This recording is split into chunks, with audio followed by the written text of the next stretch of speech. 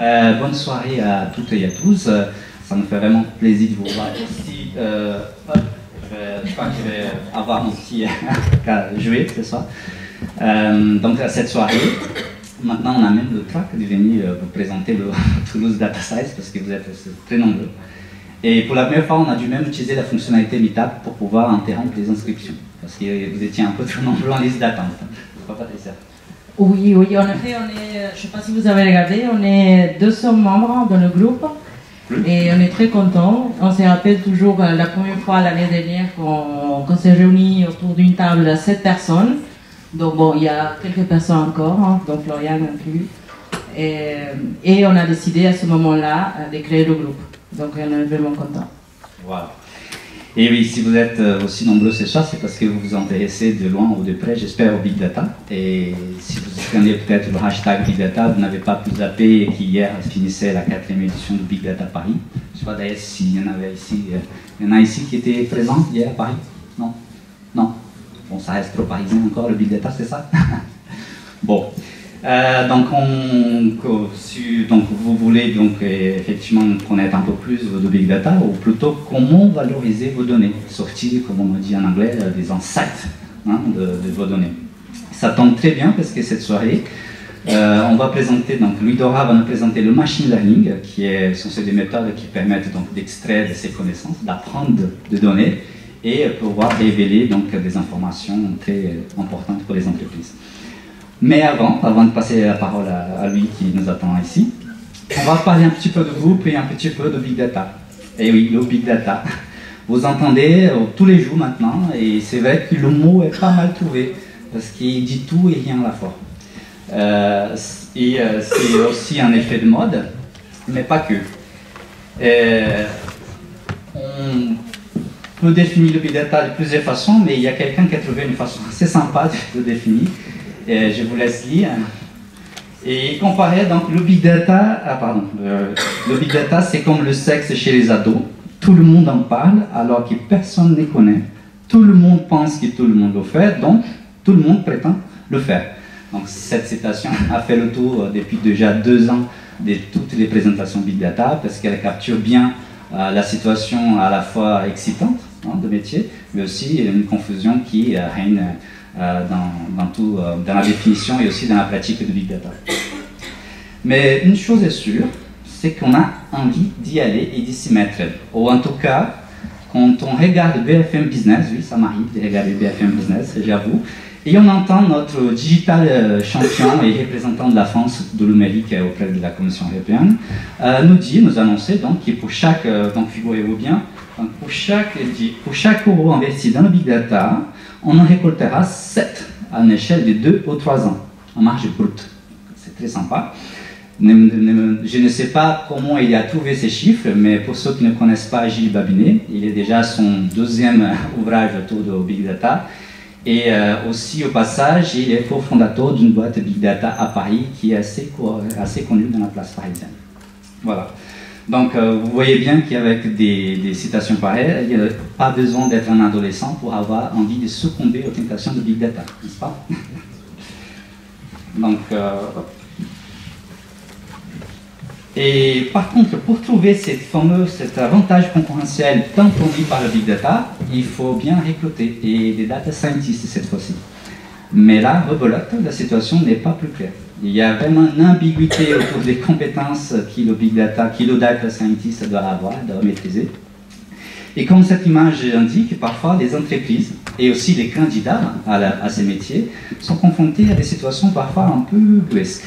En tout cas, c'est ce qui relatait une DRH, en fait, une directrice, directrice des ressources humaines, pardon, dans, euh, un article intitulé La chasse aux data scientists est ouverte.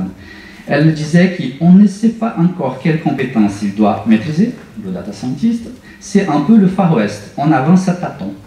Quand on recrute, c'est un peu agaçant. Voilà. La situation semble être un peu compliquée, n'est-ce pas, Patricia?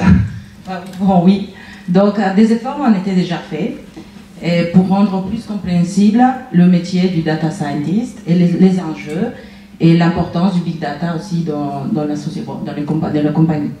Donc, il y a eu Berkeley, vous voyez, dans le cadre de son master de data science, ils ont fait une enquête Ils ont demandé à 43 euh, chefs d'entreprise, des décideurs, des leaders de définir le big data. Et, bon, certes, il y a des points en commun comme les 3 V qu'on entend beaucoup parler, comme la vitesse, la variété, la ah, volume. Ouais, c'est ça, je Oui. Et c'est les choses en commun qu'on trouve, mais malgré tout, il y a 43 définitions. Donc vous pouvez aller, euh, vous donner l'article. Donc euh, ici, on ne prétend pas de créer une 44e définition, mais plutôt on a des, trois choses à vous proposer en tant que groupe euh, Toulouse Data Science. Le premier, vous connaissez déjà le Meetup. Donc pour ceux qui étaient là la, première fois, on a découvert le métier du data scientist avec François. Et après, on a eu un retour d'expérience avec Gildas, que je ne sais pas s'il est venu, mais bon, il n'est pas encore arrivé. Et donc ce soir, vous connaissez déjà le sujet euh, avec, avec Louis Doard. Et comme vous voyez, il nous reste encore quelques meetups. Donc on va vous proposer Kibana, et on, on, aura un data scientist du groupe AXA, de, pour nous parler justement euh, comment c'est d'être un data scientist dans l'entreprise. Après, on aura aussi, on va finir avec un, un membre, je ne sais pas là, un membre aussi du TDS qui va nous faire euh, un retour d'expérience. Il va nous parler de Time Series, Kairos DB, Cassandra pour ceux qui, qui s'intéressent, c'est un peu plus technique. Bon, ça c'est la partie meetup. Après, certains d'entre vous, vous connaissez déjà, peut-être vous étiez là pour les premières fois, c'est les data mojitos. Et l'idée de ces data mojitos, c'est justement euh, échanger de manière informelle, un peu conviviale entre nous et parler de, voilà, de big data et d'autres choses si vous voulez. et c'est pas que ça, pour finir, et on va proposer les data non blabla.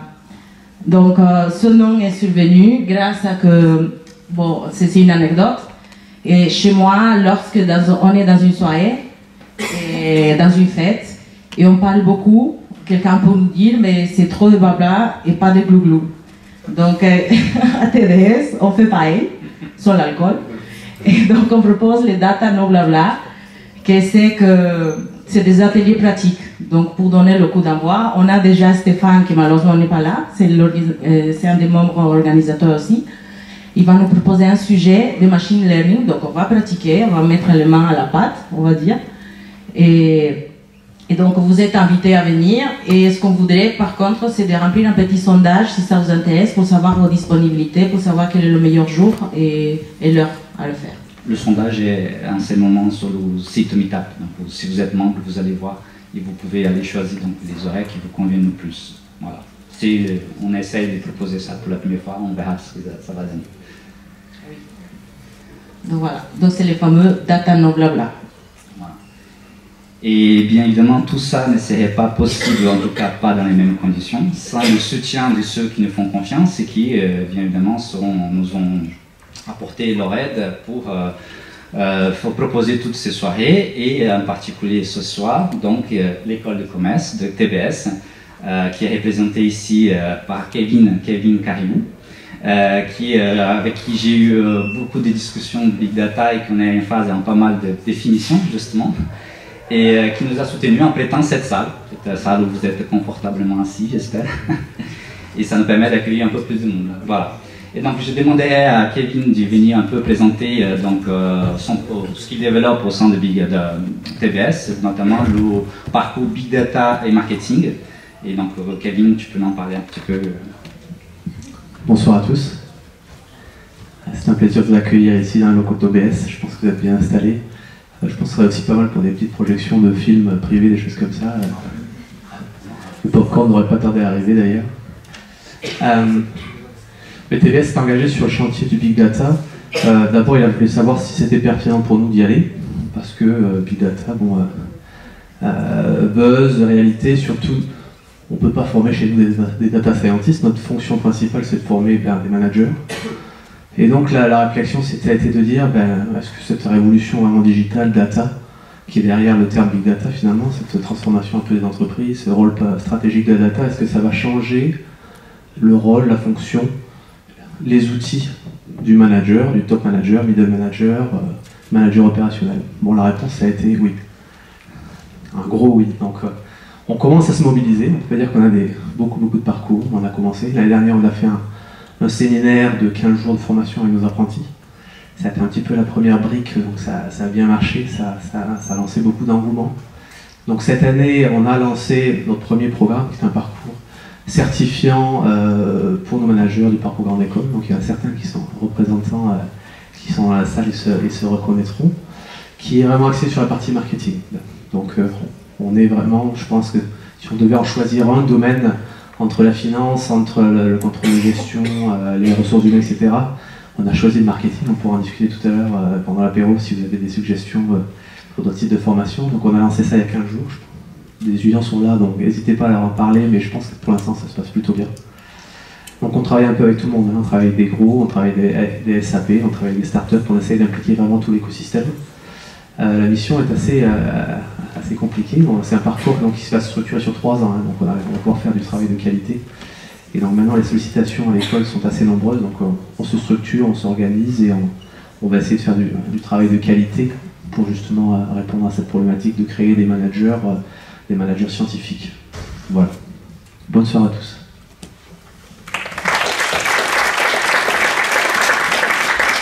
Merci, merci Kevin, merci encore pour, le soutien.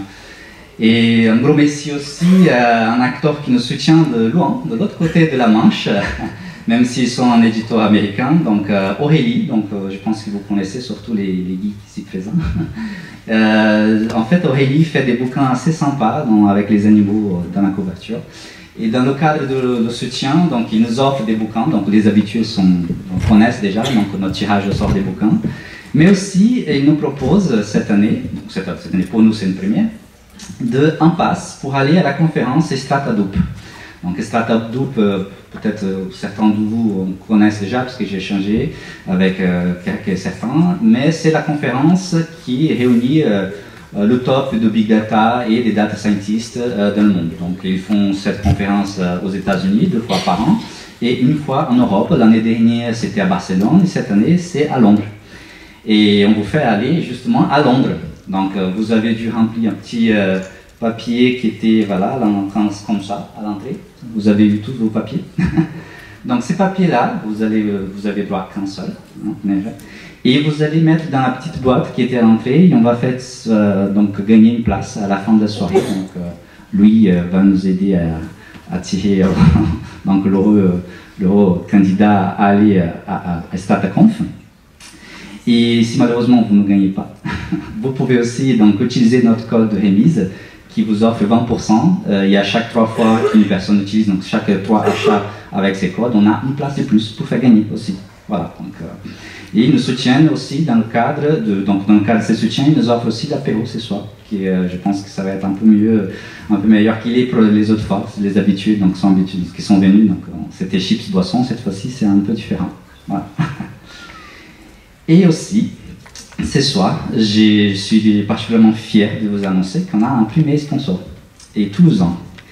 Et euh, donc c'est vrai qu'on s'y connaît depuis un petit peu de temps, et, donc ils, nous font confiance, et donc ils ont décidé de nous sponsoriser à l'année. Et ils nous ont envoyé euh, la définition en fait, de ce qu'ils font. C'est pas tout à fait évident. Donc euh, accrochez-vous. Donc, ils sont experts en médecine légale et spécialisés dans l'analyse prédictive des traces de sang dans la police le jour. Et tueurs en série la nuit, passionnés par la dissécation humaine d'une manière constructive. Est-ce que vous avez une petite idée Pour ceux qui sont accros hein, à, des, à des séries, vous allez découvrir que notre sponsor c'est Dexter, pas ça, c'est lui qui, bien évidemment, ma fiche ne correspond pas c'est Google qui m'a trouvé la définition Dexter. Hein. Si tu tapes Dexter, définition, ça s'écrit pas pareil. Et euh, donc, euh, je, pense que je vais demander à ceux qui connaissent un peu plus Dexter et ceux qui font Dexter, donc Florian, qui est son responsable, responsable marketing, il viendra nous expliquer un petit peu euh, ce que vous faites. Et rassurez-nous, vous n'utilisez pas des méthodes un peu de dissécation pour faire parler vos données.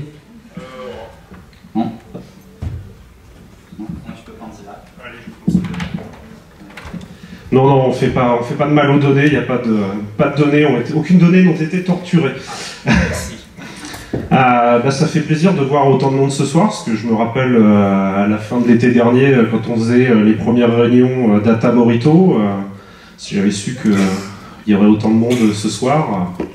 Voilà, donc merci à tous d'être venus. Donc nous, on, est, on est les sponsors, on aide le TDS. Donc au début, on voulait participer activement, mais en fait, on est une start-up qui s'est créée donc l'année dernière en octobre 2014, à peu près en même temps que le TDS, et finalement on est pas mal pris euh, et on n'a pas beaucoup de temps, donc on a décidé d'apporter notre soutien financier au moins pour cette année. On essaiera de s'impliquer un peu plus euh, l'année prochaine activement. Euh, donc aujourd'hui on est 7 salariés, on est, on va dire, un produit big data pour la pharmacie et on compte aujourd'hui parmi nos clients une entreprise du CAC 40. Euh, notre solution, je ne vais pas vous embêter euh, très longtemps, euh, c'est une solution big data qui va permettre aux entreprises pharmaceutiques de gérer toutes les données de R&D et de pouvoir extraire, on va dire, du savoir, des connaissances qui sont enfouies dans le gros volume de données générées par les activités de R&D pharmaceutiques. Donc notre solution permet tout d'abord aux scientifiques de stocker toutes leurs données, et elle va aussi leur permettre de, euh, les organiser et c'est là où on propose euh, une solution un peu innovante euh, et on leur permet en fait de s'affranchir du paradigme dossier-fichier et on les aide au travers des métadonnées à mieux organiser leurs données et à partir de là on va leur permettre de les retrouver facilement, on va leur permettre de relier les données entre elles et après, on propose des fonctions euh, collaboratives et aussi quelque chose qui est très important euh, dans le domaine scientifique parce qu'il y a énormément d'outils euh, qui sont nécessaires à la recherche. C'est l'intégration finalement de toutes ces données. Donc voilà pour, notre produit. On aura, je pense, l'occasion lors d'un prochain TDS de vous parler un petit peu technique, puisque du coup on fait des petites choses sympas avec les données. Euh, et parce que euh, moi à l'origine je suis un peu geek et je viens de la technique et quand j'entends parler d'un produit ça m'intéresse toujours de voir un petit peu quelles sont les briques donc là c'est juste vite fait euh, essentiellement nous on travaille avec du Java, du JavaScript et MongoDB et on utilise beaucoup Solaire et du Python pour faire pas mal de choses sur les données. Donc voilà, je vous embête pas plus longtemps. Et puis, euh, donc comme je vous le disais, on a pas mal de boulot. Donc euh, s'il y a des gens intéressés par les données et par le développement, euh, on recrute cette année. Voilà, merci beaucoup et bonne soirée. Merci, merci Florian.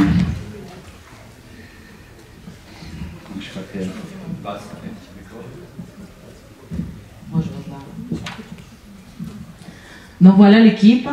Donc euh, malheureusement, comme je vous ai dit, Stéphane n'est pas là, hein, sur la droite. Et donc si vous voulez faire partie du, groupe euh, qui organise ces soirées ou vous voulez donner un atelier, vous êtes vraiment bienvenus et on pourra discuter après si vous voulez, après la présentation de lui. Merci. Donc, euh, je pense qu'il est temps maintenant de passer la parole à, Louis Dora. C'est bien pour ça que vous êtes venu, hein, j'imagine, pour le machine learning. Donc, Louis Dora, je l'ai rencontré, donc je suivais depuis un petit moment hein, sur les réseaux sociaux. Euh, donc, euh, je l'ai eu l'occasion de rencontrer en personne lors de la StrataConf l'année dernière. Je lui ai envoyé un mail comme ça, Barcelone. Hein. Il a dit oui, oui, bien sûr, on s'y rencontre, voilà, entre deux conférences, viens nous voir, on va discuter. Et je lui ai fait part de notre initiative ici à Toulouse du Créer Group. Et je tenais euh, qu'il vienne donc justement parler de ce qu'il fait parce que c'est quelque chose que je suis assez d'accord. Donc la démocratisation donc des méthodes d'analyse et du machine learning surtout à tout le monde. Donc c'est vraiment le machine learning pour tous. Et euh, voilà, donc ce soir, il va nous présenter un petit peu donc, tout ce qu'il fait. Donc euh, je demande à lui, lui Dora.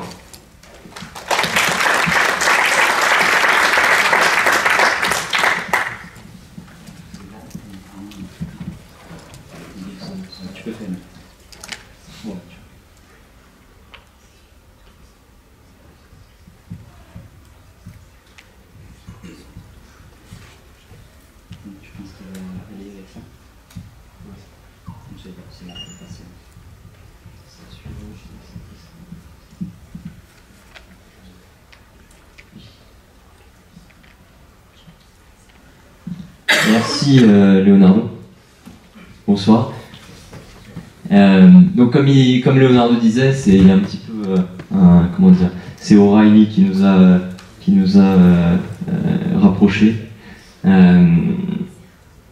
suis, je suis très impressionné par la taille du meet-up. sérieux, j'étais hier au Paris Machine Learning Meetup et il y avait autant de monde. Donc, donc ouais, il y, a une, il y, a une communauté qui est assez impressionnante. on en discutait tout à l'heure avec monsieur. Euh, moi, je suis basé à Bordeaux, et à Bordeaux, on n'a pas encore ce genre de communauté. Donc, euh, bah, je pense que je reviendrai peut-être. Euh, il me semble avoir compris que le, le hashtag c'était TDS. Donc, du coup, bah, je vais, si, jamais il y a des liens après à vous partager, je, je les tweeterai avec ce, hashtag. alors, pour vous dire deux, trois mots sur moi, j'ai fait une thèse en machine learning à Londres, à University College London. Et, euh, généralement, alors j'ai copié des slides d'une présentation que je fais auprès de développeurs. Donc pour les mettre à l'aise, je leur dis que c'est bien joli le, le PhD, ça c'est mon PhD, euh, mais euh, que en l'occurrence pour faire des choses intéressantes avec les données, bah, ils en auront pas besoin. Donc qu'ils se détendent. Euh, et puis après, bon voilà, j'essaie de motiver un petit peu le, le, côté prédictif. Euh, le prédictif, voilà, on parlait de big data tout à l'heure. Euh, moi, je fais pas que du big data. D'ailleurs, c'est pas ma spécialité a priori. mais évidemment, quand on parle de machine learning, on parle de données et les données, elles peuvent être petites ou elles peuvent être grosses. tant qu'il y en a, c'est intéressant. donc voilà, il y a ce monsieur qui est maintenant, il me semble qu'il est Chief Data Scientist à Visa, euh, la boîte de, carte de crédit, euh, qui en parle de la killer app, et puis un analyste de chez Forrester, euh, le, cabinet américain, qui, voit ça comme quelque chose d'assez important dans le développement d'applications. Et pour faire du prédictif, bah, il faut d'un côté du machine learning et de l'autre côté des données. On va rassembler tout ça, on va faire des choses prédictives qui apparemment sont super intéressantes. Sauf que, euh, oui, j'ai réutilisé des, slides de présentation faites en anglais, donc désolé. Euh, sauf que euh, si on en croit McKinsey, qui est un gros cabinet de, stratégie consulting américain, bah, il n'y a pas assez de monde pour combiner l'expertise en machine learning avec, avec une vision un peu plus, comment dire, peut-être plus business ou peut-être plus monde réel de euh, voilà, quelle est la valeur qu'on va pouvoir créer avec toutes ces données. Et du coup, bah, c'est un petit peu problématique parce que comment, comment on va faire pour, euh, pour exploiter vraiment le potentiel du machine learning Donc euh, le machine learning, je n'ai même pas défini ce que c'est. J'aime bien donner l'exemple de l'immobilier parce que ça parle à tout le monde. deviner le prix d'une maison, c'est quelque chose qu'on sait tous faire. Et la façon dont on le fait est assez proche de ce que fait une machine au final. Euh, donc la question qu'on se pose, c'est euh, combien coûte cette maison? On, a, une maison, on veut savoir quel est son prix. La réponse, ça va être un chiffre, euh, un nombre de dollars, ou un nombre d'euros. Et ça, quand la réponse est plutôt un chiffre, on parle d'une tâche de régression. Et bien, ce qu'on va faire, c'est qu'on va récupérer tout un tas de données sur euh, des transactions qui ont déjà eu lieu, où on va essayer de caractériser au mieux les biens qui se sont vendus. Donc là, j'ai mis euh, nombre de chambres, nombre de salles de bain, surface, euh, année de construction et type de bien immobilier. Et quand la transaction a été effectuée, on a le prix aussi. Il y a des fois, on n'a pas le prix, bah, c'est parce que les, biens viennent d'arriver sur le marché. Donc ce qu'on cherche à faire, en fait, euh, c'est à remplir les trous dans la colonne prix. Et le machine learning, euh, c'est, euh, ça peut être vu comme ça, remplir des trous dans une, dans une table, dans une feuille de calcul. Là, j'ai surligné, alors je sais pas si on voit très bien. On voit mieux sur un écran d'ordinateur, mais il faudra que je le mette à jour.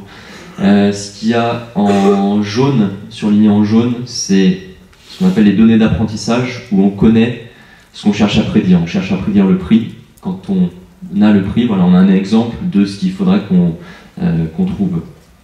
Donc c'est avec ça qu'on va apprendre, c'est avec ces exemples qu'on va apprendre. Ce qui est surligné en bleu, c'est euh, quand on a juste les attributs de la maison ou du bien immobilier sans, sans le prix, et ce qui est surligné en orange-rouge, c'est ce qu'on cherche à prédire, c'est le prix. Là, c'est un petit diagramme pour, euh, pour montrer voilà, ce, qui, se passe dans le machine learning. Il y a deux grosses phases en fait. Il y a une phase d'apprentissage et une phase de prédiction. Donc euh, j'ai représenté les données avec un petit nuage à, gauche où on a des i, euh, c'est la partie bleue qu'on voyait, et des o, c'est la partie, c'est le prix, là en l'occurrence. Donc on a des exemples de input et output. On a tous, ces, tous ces exemples, on va apprendre à partir de là. On va créer ce qu'on appelle un modèle, un objet modèle. Et euh, cet objet modèle, va s'en servir avec une nouvelle input, donc un nouveau bien immobilier, pour prédire sa valeur. Et quand on réfléchit, en fait, c'est assez, assez, similaire à ce qu'on fait nous. Euh, si jamais vous euh, vous délocalisez dans un autre pays et vous cherchez une maison, vous ne savez pas combien ça va coûter, en plus vous ne connaissez pas les bons quartiers, vous, si vous faites, c'est tout simplement vous regardez le marché, les annonces qu'il y a, et vous construisez votre base d'exemple de voilà telle maison avec euh, tel nombre de chambres, elle était chère, avec cette surface-là, elle était euh, un peu moins chère. Euh, donc vous construisez en fait un modèle interne que vous utilisez après pour pouvoir dire ah ça probablement ça va avoir un prix dans ces eaux Oh j'ai mis ça. Donc le machine learning en fait c'est un sous-ensemble de, euh, des, techniques d'intelligence artificielle, où l'intelligence, bah, c'est euh, se référer à des exemples. Implicitement ou explicitement, on se réfère à des exemples. Donc voilà, c'est très similaire à ce qu'on fait nous en tant qu'humains. Euh, un autre exemple, alors ça c'est encore, voilà, quand je disais que je pas mes slides, bah voilà, celui-là il date visiblement de 2013, c'est un email que j'ai reçu, mais en fait j'ai dû aller chercher dans mes spams. Ce que je vais illustrer là, c'est donc la, classification d'email en spam et non spam. Ce qui est assez fort, c'est qu'on arrive à dire si un email est spam ou pas avant d'avoir vu la réaction de l'utilisateur face à cet email. Et euh, de même, on va pouvoir aussi euh, prédire si un email est important ou pas avant que la personne ait pu le voir. Donc ça, c'est ce qu'on voit dans euh, Google Priority Inbox. Maintenant, il y a tout un tas d'applications. Il y a Outlook qui a fait une nouvelle version sur, euh, sur iOS. Il y a une appli qui s'appelle Mailbox. Euh, il y a, euh, ils font ça en fait. Ils font de la classification d'emails automatiques. donc c'est vraiment un truc à la mode en ce moment. Et revenons sur juste le spam. Donc on a un email. On se demande quel type d'email c'est. Il y a deux réponses possibles. Donc quand il y a un, un certain nombre de réponses possibles qui est fixé en avance, donc là deux, on parle de classification, ici classification binaire il n'y a que deux possibilités. Alors, euh, ça a l'air. Euh, on peut se dire qu'on va pouvoir prédire plein de choses à partir du moment où on récupère des exemples. Euh, maintenant, le problème, c'est qu'il faut les récupérer, ces exemples. Donc là, dans le, cas de, des emails, en fait, il a fallu qu'à un moment donné, on ait quelqu'un qui puisse dire tous ces emails-là, c'est du spam. Donc ça veut dire qu'il y a une personne qui a, sur certains mails, qui a dit ça c'est spam, ça c'est pas spam. Donc il y a eu du temps qui, a été passé là-dessus. Et souvent ça, ça peut être un facteur limitant en fait quand, on développe, euh, quand on, découvre euh, le machine learning, quand on développe des idées de, choses à prédire, on se rend compte euh, en, creusant un petit peu que trouver des exemples d'output, c'est pas forcément super évident. Et une autre limitation, c'est que bah, si on n'a pas assez d'exemples, on, va on risque de se retrouver dans des cas où on doit faire une prédiction pour un nouvel objet qui est pas du tout similaire à ce qu'on a pu observer par le passé, qui est pas similaire à ce qu'on a dans notre base d'exemples. Donc ça aussi, c'est quelque chose auquel il faut faire euh, attention. Euh, la question à un million de dollars, bon maintenant elle coûte beaucoup moins, euh, c'est comment est-ce que je vais faire pour, pour créer cet objet modèle? Je comprends bien le principe, mais concrètement, comment je, je l'obtiens ce modèle. Et c'est là qu'il euh, y a quelque chose de très intéressant qui s'appelle les API de prédiction qui va nous aider, où en fait on va pouvoir abstraire une partie de la complexité euh, algorithmique, euh, la complexité liée à la modélisation, au choix des algorithmes.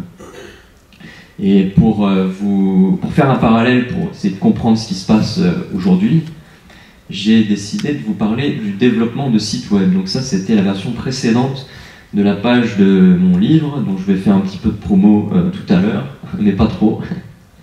Et ça, normalement, quand vous faites une page web, c'est il faut savoir faire du HTML, du CSS, du JavaScript. En tout cas, au début des années 2000, si vous ne saviez pas, vous ne pouviez pas. Sauf que bah, moi, j'ai fait rien de tout ça pour ce site. J'ai utilisé un service qui s'appelle Squarespace. Il y en a d'autres. Il y celui-là est peut-être plus orienté, plus utilisé par des startups ou des gens aux États-Unis. Il y a Wix en France. Il y en a un autre qui s'appelle Jimdo, je crois. Et essentiellement, ce que c'est, c'est que vous allez voir directement ce que, votre site, le résultat euh, final, et vous allez pouvoir modifier, changer le layout, la disposition des éléments, ajouter une image, euh, redimensionner euh, les trucs, et puis changer le texte, et au final, complètement graphiquement, sans aucune compétence en programmation, vous faites voilà, un site, je, pas trop moche celle-là je trouve, sachant que surtout qu'il n'y a pas eu de programmation derrière. Et donc là, euh, ça va être un petit peu la même chose, mais pas avec la création de sites web, mais avec la création de, modèles prédictifs. Du coup, euh, si vous connaissez un petit peu la création de sites web, vous savez que euh, ces jolis services que j'ai mentionnés, ça ne convient pas dans 100% des cas. Ça va convenir dans peut-être 80% des cas, si on prend la règle des 80-20. et du coup, il y a tout un tas de sites où euh, c'est juste pas possible d'utiliser ces, solutions pour les créer.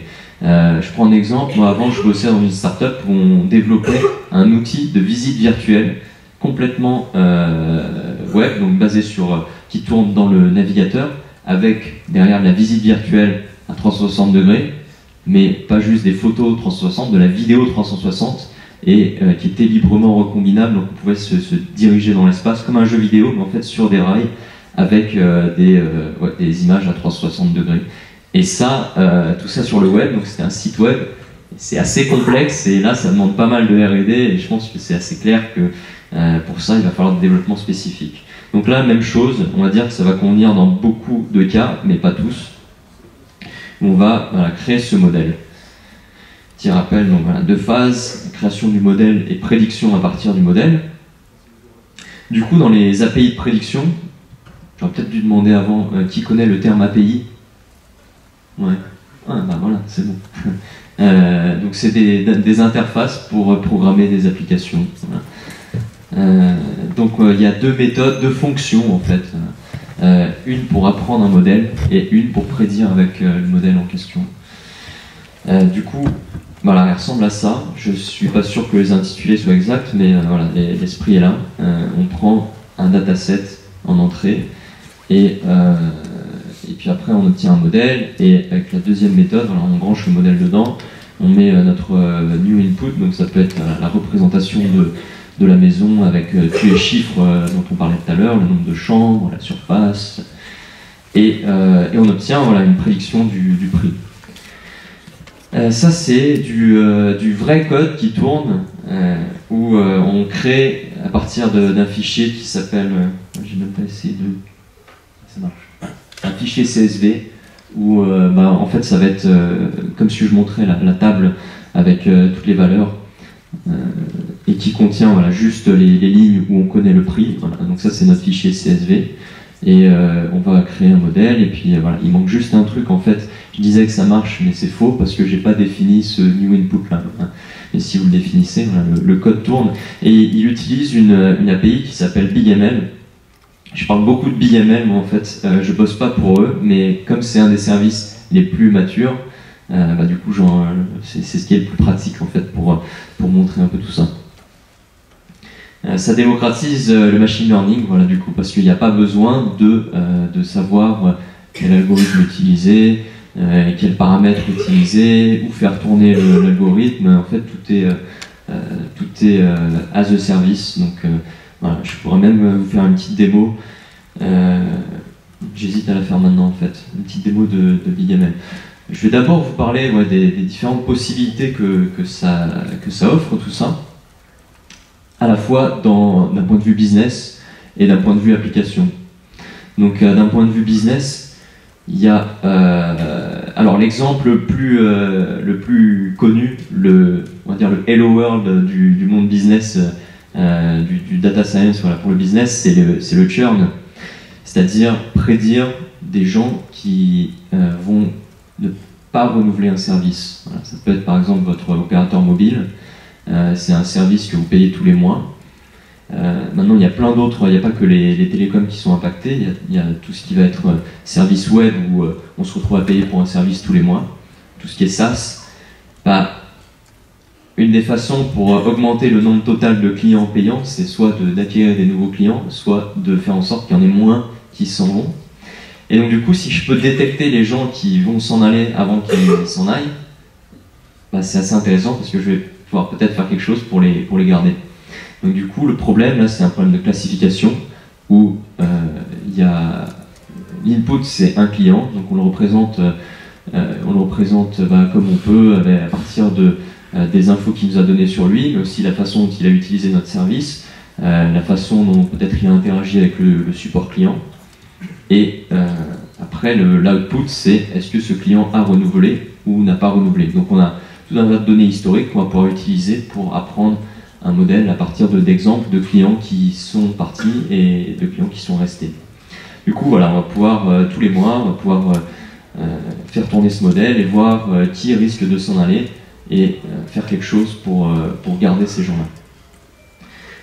Upsell, c'est euh, quand vous voulez prédire si un de vos clients existants va être intéressé par un produit qu'il n'a pas déjà acheté. il a déjà acheté quelque chose chez vous, mais il pourrait peut-être acheter autre chose. Et du coup, vous allez vouloir lui, proposer un produit qui, pour lequel vous, vous prédisez qu'il va acheter.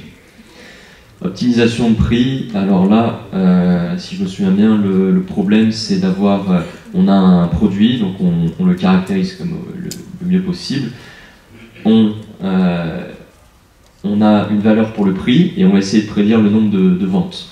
Donc du coup, en changeant la valeur prix, ça va impacter la prédiction des ventes et puis on va pouvoir voir qu'est-ce, que, qu'est-ce qui est le plus profitable au final en testant différentes combinaisons. La détection de fraude, c'est pas mal pour tout ce qui est, euh, bah, par exemple pour les, je parlais de, de carte de crédit tout à l'heure euh, en parlant du monsieur de chez Visa.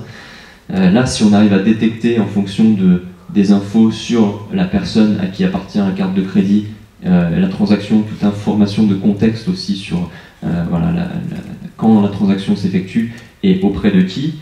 donc on a une, représentation assez riche euh, d'une transaction. Et euh, l'idée, c'est de pouvoir euh, détecter si elle est légitime ou pas. Et si on arrive à prédire qu'en fait la transaction qui, qui, qui va s'effectuer n'est pas légitime, ben on la bloque et du coup on économise des sous. Credit scoring, c'est quand on a, c'est pour les, c'est pour les, oui, les, les, banques ça principalement, mais juste pour illustrer, hein, je pense qu'après il y a peut-être pas des gens qui vont faire du credit scoring ici, mais ça, ça peut aider à, comprendre un petit peu, de voir des, exemples différents. Euh, on va vouloir, euh, voilà, il y a quelqu'un qui veut un prêt, euh, on a tout un tas d'informations sur cette personne, elle remplit un dossier, et nous, en fonction de, voilà, des données qu'on a historiques de qui a, a pu payer son, son, prêt, a pu rembourser son prêt dans les temps, on va pouvoir construire un modèle de qui qui paye dans les temps et qui ne paye pas dans les temps et, utiliser ça pour, pour mieux décider qui, qui, obtient qui obtient son prêt. Et dans les applications, il y a le Priority Inbox dont je parlais, la détection des emails importants, donc un peu comme le spam. Google Now, ça c'est, vous l'avez peut-être aussi sur vos, sur vos téléphones iPhone et puis peut-être chez Microsoft. en fait, euh, maintenant, le téléphone vous dit, euh, moi ça, ça m'est arrivé, j'avais même pas activé le truc, et il me dit 15 euh, minutes pour aller à, voilà, à, telle adresse qui en fait est juste en face de chez moi. je me suis dit, tiens, qu'est-ce que c'est que ça? Et en fait, à partir de, voilà, de mes déplacements, il a pu comprendre que quand je suis dans tel contexte, donc à tel endroit, à telle, à telle heure, bah, le, ma destination suivante, ça va être ça, va être la maison, le travail, les, courses. Et donc du coup, bah, ce qu'il peut faire, c'est que quand, quand, je sors mon téléphone, il, voit quel est le contexte actuel et puis il me prédit ma prochaine destination. Donc il me dit voilà, euh, quelle est la, euh, s'il y a des bouchons, s'il vaut mieux que je passe par là, par là, il me dit combien de temps ça va me, prendre, sans que j'ai à rentrer spécifiquement euh, voilà, une adresse. Après, voilà, analyse de sentiments, c'est quelque chose qui, qui, se fait bien aujourd'hui pour tout ce qui est bah, réseaux sociaux et qui est très important pour les marques pour mesurer ce que les gens perçoivent de comment ils perçoivent une marque. Donc là, on voit tout un tas de, de tweets et on va essayer de dire si voilà, les tweets qui, mentionnent une marque sont positifs, négatifs ou juste neutres. Euh, crowd Prediction, ça c'est euh, ça c'est une boîte française en fait, Snips, qui font un truc super innovant. Euh, ils ont un petit peu changé leur focus. Maintenant ils font du, B2C, donc du business to customer, to consumer, pardon. Et, avant ils faisaient du, B2B. Alors ils, développaient des solutions. Là en l'occurrence pour la SNCF, pour en fait prévoir pour nos, nos pauvres amis parisiens qui sont bloqués dans les, euh, dans les transports, euh, qui puissent savoir à l'avance que tel train va être moins chargé qu'un autre. Voilà, donc on va prédire le nombre de personnes qui va être à la station, qui va rentrer dans le train, et du coup, en affichant ces prédictions dans une application mobile, bah, la personne peut se dire euh, ah, je vais peut-être prendre mon train un petit peu plus tard ou un petit peu plus tôt, donc on va un peu répartir la charge. C'est dans le mouvement Smart City. Et l'exemple des, des, maisons, ça je viens d'en parler. Et la détection de langue, bah, c'est quand vous êtes sur Google Translate, vous mettez un texte sans forcément spécifier la langue et il, vous dit automatiquement, il sélectionne automatiquement le, la langue d'entrée et puis après vous avez juste à choisir euh, votre langue à vous, si c'est pas déjà choisi a priori. Voilà, un petit récapitulatif avant de, avant de continuer sur une démo et euh, après sur du contenu un peu plus euh, expérimental. Alors, euh, je suis désolé, mais vous êtes un petit peu mes cobayes pour ce soir. Euh, mais la contrepartie, c'est que vous allez voir un truc que personne n'a vu jusqu'à présent. Donc, euh, c'est un peu donnant-donnant. Je vais être très intéressé par vos questions aussi. Alors, récapitulatif, le machine learning, ça va nous aider à créer de la valeur à partir de données. En répondant à des questions, en, prédisant des, réponses à des questions, comme j'ai montré tout à l'heure avec les, maisons et les emails. Les API de prédiction, ça va euh, rendre ça possible à plein de gens, plein de développeurs, ou pas que. Euh, il y, a aussi parfois des, interfaces graphiques qui font que bah, pour certains produits, même les, marketeurs euh, les utilisent. Et, au final, ils ont, besoin de, rien coder. Donc voilà, ça, ouvre un petit peu des possibilités. ça va pas résoudre, comme je disais, 100% des problèmes, mais peut-être que pour 80%, c'est euh, ça suffira. Et euh, par contre, un point sur lequel il faut faire très attention, c'est la qualité des données. Donc à la fois en, nombre de données, en avoir suffisamment, et, euh, et puis aussi en la façon dont, on décrit, donc dans les données, il y a les, les inputs. je parlais des, des maisons, des biens immobiliers. Bah, il faut avoir beaucoup de données sur chaque bien immobilier pour le représenter de façon la plus fine possible pour en fait capturer tous les, euh, représenter tous les aspects qui vont avoir un impact sur la, ce qu'on cherche à prédire.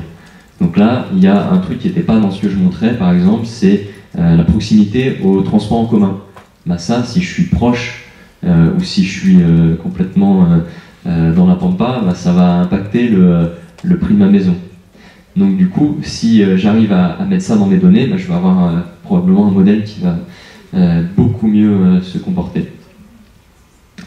Euh, ça, je vais en parler juste après, mais je vais essayer de, d'enchaîner sur une démo, sachant qu'il y a un truc que j'avais pas prévu, c'est de tenir le micro et de manipuler l'ordinateur en même temps.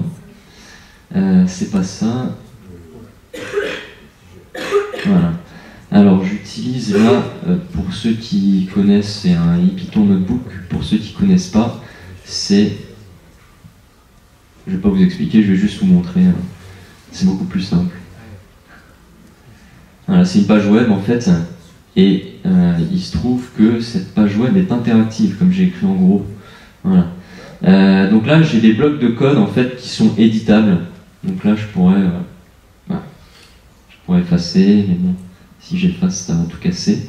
donc là, en fait, voilà, j'ai un bloc de code où je définis deux trois trucs sur euh, des variables d'authentification. Voilà, mon nom d'utilisateur du service BigML que j'utilise pour cette démo. Et euh, la clé d'API, donc c'est voilà, ce qui me permet de, prouver que c'est bien moi.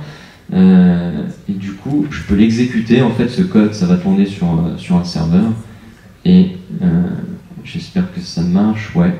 Alors après, j'ai un petit bout de code pour euh, installer le, euh, ce qu'on appelle les wrappers, les wrappers de, l'API. C'est un petit objet qui va me permettre de dialoguer avec l'API BigML de façon simple.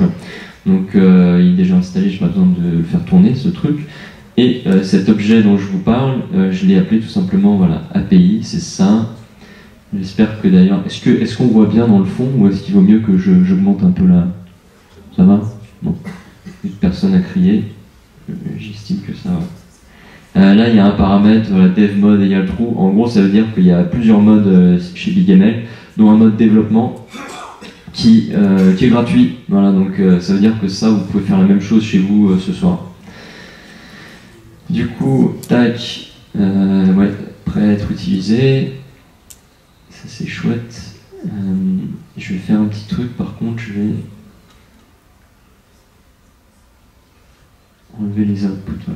Euh, donc là ce que je fais c'est que je définis avec cette ligne de code euh, une source de données qui ici est un fichier CSV. c'est des données récupérées d'un site web qui s'appelle Realtor.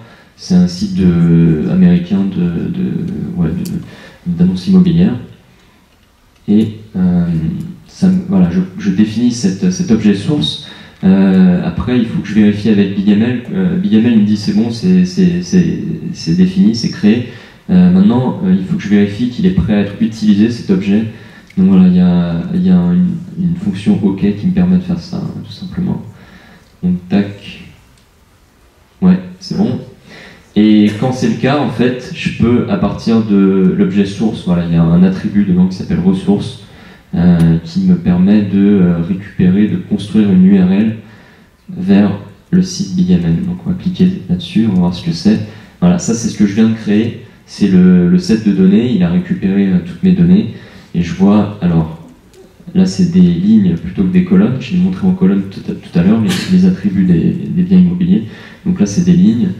Et je vois, bah voilà, quelles sont mes données. je peux vérifier que ça s'est à peu près bien passé. Euh, maintenant, ce qu'il faut faire, c'est créer un dataset. Alors, il y a une petite subtilité, c'est pas très intéressant de rentrer dans le détail pour aujourd'hui, entre une source de données et un dataset. Voilà, tout ce qu'on fait, c'est qu'on prend la source et on crée un dataset, un petit formalisme euh, spécifique. Euh, et voilà, là, si je clique là-dessus, je vais pouvoir voir encore une fois sur l'interface de BigML, pour chacun des attributs, je vais voir une petite distribution, c'est des histogrammes, donc ça me, ça me dit là par exemple pour euh, les chambres, le nombre de chambres, le nombre de, pardon, de biens, euh, il y en a 995 qui ont deux chambres, il y en a 1487 qui ont trois chambres, etc. Donc cette petite visualisation est bien sympathique pour euh, vérifier que tout simplement que les données elles ont la, elles ont la forme qu'on attend qu'elles aient. Donc ça permet de, de s'assurer qu'il n'y a pas de, de, de bizarrerie en vérifiant que ça correspond à notre intuition et ouais, plus il y a, beaucoup de chambres, bah, moins il y a de, biens immobiliers correspondants, ce qui est assez normal. Ensuite, ah, la partie intéressante, c'est apprendre un modèle à partir du dataset. C'est la même ligne de code que je vous avais montré tout à l'heure. Et euh, pour ceux qui n'aiment euh, pas trop les lignes de code, c'est bientôt fini c'est bientôt fini et même je dirais, je dirais même qu'en fait il y a un petit truc graphique plutôt sympathique qui est le modèle. Le modèle ici prédictif c'est un arbre de décision. Alors en fait ce qui se passe c'est qu'on commence tout en haut et à chaque, euh, à chaque branchement on se pose une question. la question elle se pose sur la taille de la maison. Si la taille, euh, la, surface de, du, terrain en fait. Si elle est inférieure à euh, une certaine valeur, alors on va sur cette partie de l'arbre, sinon on va sur l'autre partie. Et donc voilà, là on a une autre question sur l'adresse, est-ce qu'elle contient ce code postal euh, et ainsi de suite. Alors là, on voit qu'il y a des trucs en pointillé, enfin ça se voit pas très bien du fond, j'imagine, mais c'est juste, euh, ça, veut juste dire que cette partie de l'arbre a été cachée pour en fait fournir une représentation assez compacte de l'arbre et que ça ne devienne pas un truc avec des nœuds tout petits où on voit rien. Donc si on clique dessus, on peut, euh, bah, on peut j'ai dû tout sélectionner là. Voilà. Donc on peut, on peut avoir le détail quand on clique dessus. Et à la fin, en fait, une fois qu'on a répondu à toutes les questions, et eh ben, il nous donne, il est gentil, il nous donne une, une prédiction sur, sur le, prix du bien immobilier. Donc voilà le, le modèle qui nous a créé. D'ailleurs, un autre truc sympathique, c'est une autre représentation. Ça, c'est sur le site de BigML, ouais. Euh, alors là, c'est plus gratuit. Et là, c'est l'installation on-premise et ça coûte des sous. Mais euh, on peut déjà faire joujou euh, librement chez eux. On leur donne nos données, mais après, on peut très bien obfusquer les données un maximum. Et, puis aussi bah, tester avec des données qui sont libres. Hein. Euh, moi, j'ai mis des, j'ai testé avec euh, bah, mes emails en fait euh, dans ce magnifique livre violet. J'ai fait une étude de cas où je réimplémente le priority inbox, donc détection d'emails importants. Et j'ai mis mes, mes, emails à moi en fait parce qu'il n'y a pas du tout, dans les données que j'ai, envoyées, il n'y a pas du tout le, texte. J'ai juste des données numériques comme voilà, pour tel ID d'un correspondant à moi, quel est le temps habituel que je mets à lui répondre, quel est le temps que lui met à répondre, quelle est la taille des, mails, c'est que des données numériques. Et a priori, euh, ça, euh, ça a aucune, enfin c'est inintelligible pour euh, pour quelqu'un qui, tomberait dessus sans avoir la correspondance avec les, les ID et sans savoir ce que chaque ce que chaque nombre représente. Et donc ça, cette visualisation, bon, c'est pas très probant sur ce cas-là. Et je, vous la remontrer tout à l'heure, la, visualisation, parce que là on voit pas grand chose, elle est assez intéressante aussi. Donc revenons à nos moutons, on a créé notre modèle, et euh, à la fin on va faire une prédiction. Et donc euh, là, voilà, c'est ça la définition du, euh, du, new input. Là, je vous ai dit que je l'avais oublié tout à l'heure. bah là, je l'ai mise. Donc on va pouvoir, voilà, new input. Il y a quelque chose en dessous on crée une prédiction à partir du modèle notre arbre de décision et du new input là. Et on lui demande de nous afficher la valeur prédite. Et voilà, ça c'est la valeur prédite en dollars. Après on peut tout rassembler sur une ligne, ce que j'ai fait ici, et j'ai un petit peu changé les valeurs. Donc là j'ai boosté, j'ai mis 4 chambres, 2 salles de bain, et euh, la surface, alors avant on avait 1000, c'est des square feet, je sais absolument pas ce que ça donne en mètres carrés. Euh, et là, j'en ai mis 1500, donc il y en a plus. Donc normalement, on devrait avoir une valeur plus élevée. Roulement de tambour. Ah, un petit peu plus élevé. Voilà. Donc ça a l'air de marcher à peu près. Euh, maintenant, comment savoir si ça marche vraiment ou pas? Euh, bah Là, en fait, la technique, c'est de séparer son, ses données de base en deux de garder la première moitié pour apprendre un modèle, la deuxième moitié on va pas l'utiliser, euh, ça peut paraître un peu frustrant comme ça, mais en fait euh, sur la deuxième moitié on va prendre toutes les inputs, on va faire des prédictions sur chaque input, donc on va avoir euh, une prédiction qu'on va pouvoir comparer à la vraie valeur qu'on avait cachée, qu'on n'avait pas utilisée, et donc on va, on va pouvoir voilà, faire tout un tas de comparaisons, combiner ces comparaisons et donner une, une mesure d'erreur. Donc euh, bah là, pour de la régression, on compare tout simplement les nombres qui ont été prédits, mais euh, on fait des sommes sur des, valeurs absolues, euh, ou on peut penser à plein de trucs, mais voilà, ça ce serait le plus, le, plus évident. Et on a une, une, valeur numérique sur la, sur la performance du, du truc. Ça, je peux vous le montrer aussi d'ailleurs sur l'interface de BigML ils ont un petit peu changé les choses, mais ça doit être la évaluation. Euh, donc là, en fait, voilà, euh, ce que je disais, là, faire des valeurs absolues entre la, valeur prédite et la, vraie valeur, euh, quand on additionne tout ça, on obtient ce qu'on appelle la mean absolute error. Euh, on peut penser à d'autres mesures. Il y en a une assez savante qui s'appelle la R-squared. Donc ce qu'il faut savoir, c'est que c'est entre 0 et 1, et plus on est près de 1, mieux c'est. Et, et, là, ce qui se passe, c'est que si c'est en vert, c'est parce qu'on compare à deux baselines. Donc une baseline qui dit bah, je prévois toujours la même chose pour le prix de la maison, qui est la, valeur moyenne de toutes les maisons que j'ai pu observer. et on peut comparer à quelque chose qui ferait une qui donnera une, valeur aléatoire dans l'intervalle de, de, valeur qui a été observé dans les données qu'on avait. Donc voilà, ça c'est des, prédicteurs qui sont un peu stupides, dans lesquels il n'y a aucune intelligence. Mais en se comparant quand même à ces trucs sans intelligence, on arrive à vérifier qu'on fait quelque chose de visiblement plus malin et qu'il y, a un petit peu d'intelligence derrière.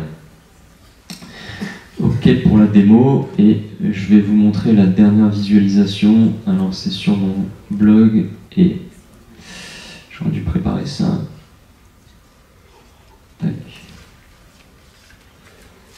Euh, c'est un petit exemple sympa de prédiction d'abstention. Donc c'était sur les élections euh, cantonales, je crois, de je sais plus quelle année. Euh, est-ce que c'est voilà.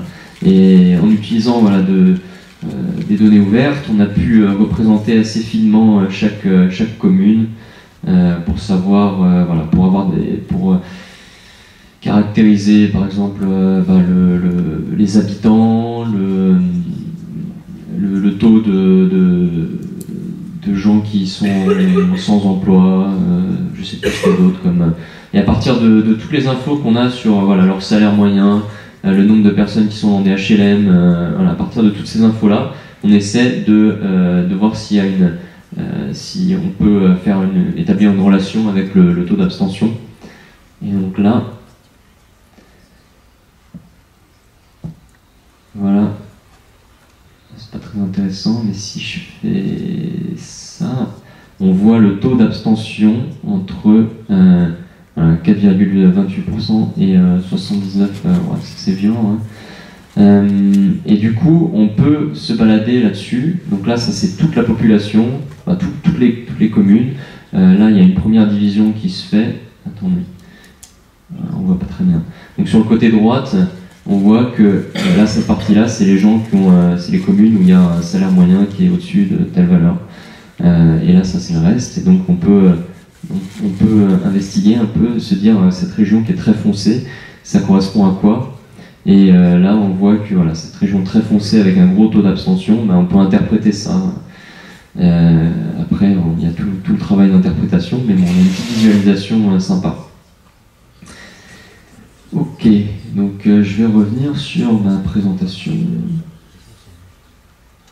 Et je vais essayer d'être un peu plus rapide parce que j'aimerais bien prendre des questions quand même.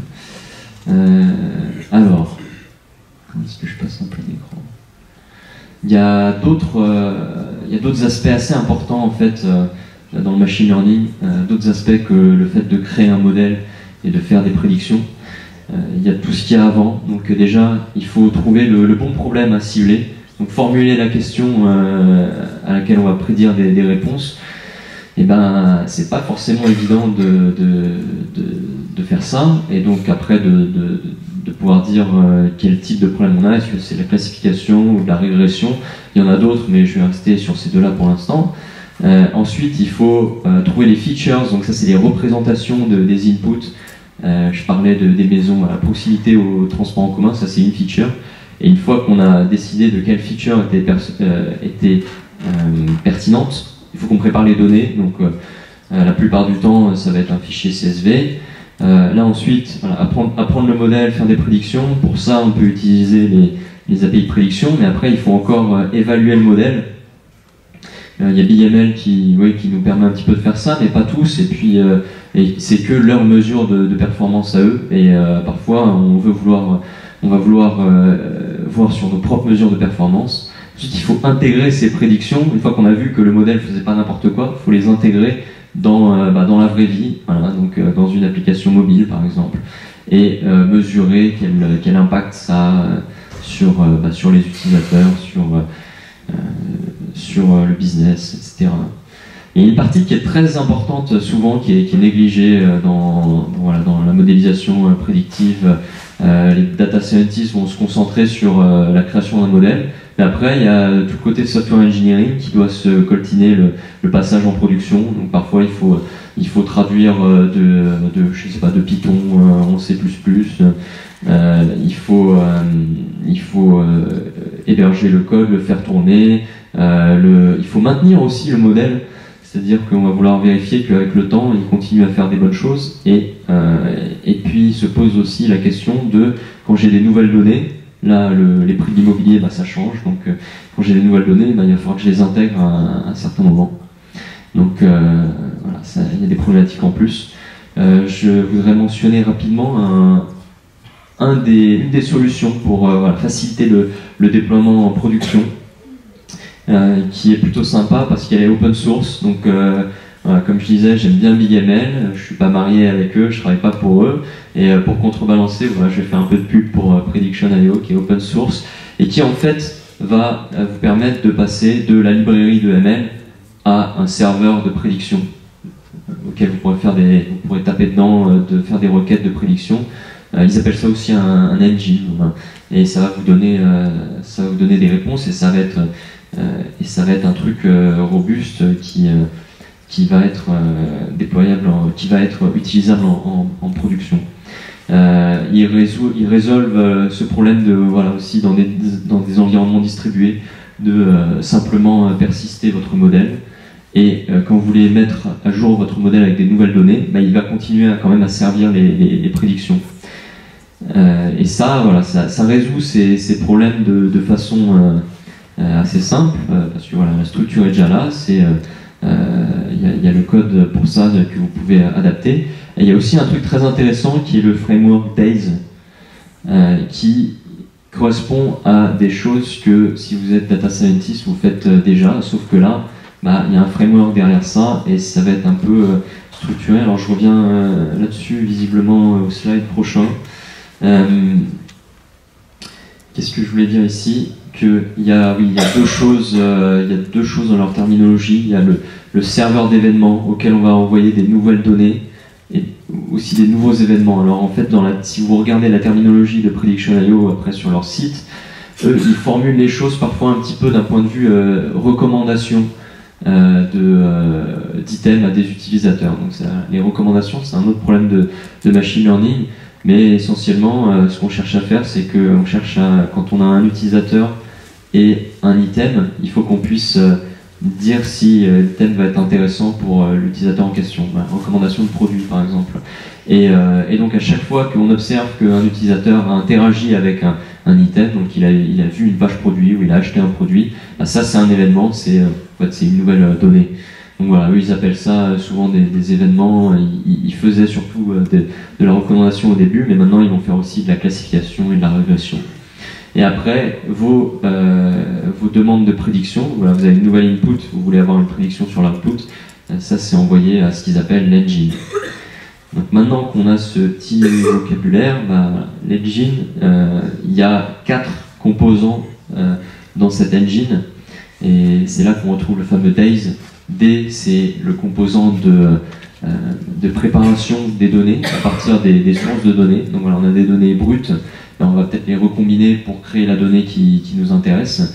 Euh, dans le cas de, des, maisons là, et de la proximité au transport en commun, c'est qu'on a, euh, on sait où sont les stations, on sait où sont les maisons, mais il faut encore créer les, il faut quand même préparer les données dans le sens où il va falloir calculer les, les distances, ce qui est assez évident dans, dans ce cas-ci, mais voilà, c'est c'est un problème qu'on retrouve souvent.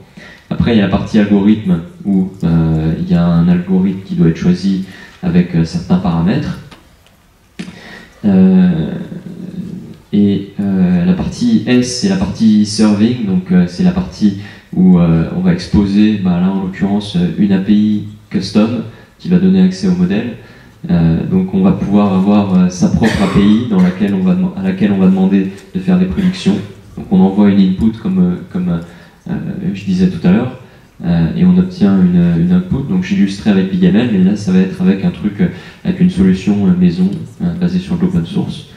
Et il y a la partie évaluation où on va, voilà, on va définir nos, métriques pour, pour quantifier à quel point est-ce que le, le, le, modèle est précis, le modèle fait des bonnes prédictions. D'accord. Ah, je sais. Euh, là, ce dont je voulais vous parler, c'est euh, la partie euh, la plus expérimentale de ce soir. C'est la partie du ce que j'appelle le machine learning canvas. D'ailleurs, vu qu'on est dans une, dans une business school, est-ce qu'il y a des gens qui connaissent le business model Canvas? Ouais. Alors, c'est pas une adaptation du business model Canvas au business qui utilise du machine learning, mais je garde l'idée d'avoir un, document un peu graphique avec différentes cases dans lesquelles on va décrire les, aspects qui, qui, qui identifient, qui caractérisent euh, un système prédictif, un système prédictif qui va faire appel à du machine learning. Et euh, voilà, dans le business model Canvas, euh, on, décrit un, bah, un, business model en, je crois, c'est 9 blocs, à moins que ce soit la version Lean, ça, je sais plus. Mais, mais voilà, ce qui se passe, c'est que les cases sont bien disposées pour que les choses qui sont en rapport les unes avec les autres, elles sont proches dans l'espace. Euh, et, je me suis dit que ce serait sympa d'avoir une vue d'ensemble comme ça aussi, donc non pas d'un business model, mais d'un système euh, prédictif, euh, des aspects clés du, système prédictif, et d'avoir un document comme ça qui liste tout, qui puisse servir de base de communication à des data scientists, des software engineers, des gens en métier, des gens en business, qui puissent euh, communiquer autour euh, de, de, ce même document. Alors il y en a qui vont s'intéresser à, certains blocs plus qu'à d'autres, euh, mais voilà, au moins tout le monde a ce même document de référence. Donc ça c'est un work in progress. Si vous avez des suggestions, je suis preneur. J'ai déjà fait trois, une séparation en trois, donc trois lignes. Alors une ligne background, donc là on va essayer de décrire c'est quoi le contexte dans lequel on veut créer ce système prédictif. Ensuite, euh, là j'ai repris la terminologie prediction.io. On va essayer de spécifier le, cette, engine, donc quel type de prédiction on veut qu'il fasse, et euh, avec, euh, voilà, avec quelles données, et comment est-ce que, comment est-ce que on va savoir si le, modèle fait quelque chose de, de bon ou pas. Donc voilà, l'évaluation. Et le dernier, la dernière ligne, c'est euh, l'intégration. Donc voilà, euh, comment est-ce que je vais utiliser ce modèle? Quand est-ce que je vais apprendre avec euh, des données? Quand est-ce que je vais faire des prédictions? Et qu'est-ce que je vais en faire de ces prédictions après pour, pour que ça me soit utile? J'ai aussi divisé en trois colonnes. Donc il y a une colonne où on va parler des prédictions à proprement parler. Euh, une colonne, on va parler des, objectifs qu'on cherche à atteindre, et une autre colonne données. il fallait quand même donner euh, toute, une, euh, toute une colonne, tout cet espace pour les données, vu que c'est assez capital quand même, comme je disais tout à l'heure. Et au final, quand, on, bah, quand on regarde ce qu'il doit avoir dans les cases, ça donne ça. le background côté prédiction, c'est voilà, qui le c'est qui end user, c'est qui qui va être intéressé par ces par ces prédictions, qui va les utiliser ou qui va être affecté par ces prédictions. Euh, et, euh, et on cherche à créer quelle valeur pour ce, ce, end user. Donc c'est la partie euh, value proposition dans objectif et dans background. Et pour ça, bah, on a des sources de données et quelles sont-elles? Donc là, on a juste à lister les, sources qui sont à disposition sans forcément rentrer dans les, données exactes. Mais ça nous donne un peu de background. Ensuite, on va pouvoir. Euh, donc on, fait dans l'ordre, là, on fait la première ligne et euh, on va de, gauche à droite. Donc 1, 2, 3, hop, quatrième case, euh, problème de machine learning. Donc là, c'est, on va spécifier la question à laquelle on cherche à produire une réponse. c'est quoi l'input, c'est quoi l'output? Objectif, on va définir les mesures de performance qui nous intéressent et, ensuite bah, le côté préparation des données, c'est quoi les features qu'on veut extraire et, euh, et comment est-ce que, euh, par exemple, on, récupère euh, les outputs? Je disais tout à l'heure que c'était important, on va pouvoir l'écrire ici. Ensuite, il y a en fait au final, dans la dernière ligne, il n'y a pas trois colonnes, mais je l'ai juste cette dernière ligne divisée en deux. Une pour l'utilisation des prédictions, donc qui est en fait à cheval entre prédiction et objectif, parce que si on utilise les prédictions, c'est pour atteindre les objectifs. Et une qui et un autre bloc qui est euh, du modèle, euh, qui est à cheval sur données et objectifs, parce que euh, bah, on apprend à partir de données et on va pouvoir savoir si on a bien appris en, mesurant la performance quoi, qui, est listée dans les objectifs. Et je crois que c'est. Je vais vous montrer la, la version HTML de ce truc. S'il y a une version HTML avec des champs qu'on peut remplir. comment je fais ça?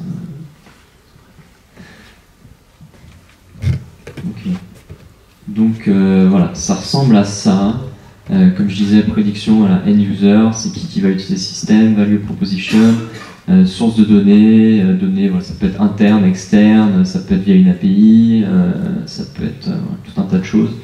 Là, ce que je disais, la question input-output, j'ai mis aussi une baseline. Voilà, c'est quoi Est-ce qu'on a une, façon alternative de faire des, prédictions Par exemple, des règles manuelles? Ça, ça pourrait être une baseline. Euh, évaluation, donc euh, l'évaluation de la performance, pour moi, il y a deux, euh, il y a deux blocs principaux. C'est les, les, mesures bottom line, donc qui sont côté métier, qui sont spécifiques au domaine, et il y a les mesures de est-ce que les, prédictions sont comment on dit, c'est l'accuracy, donc c'est on regarde la précision numérique.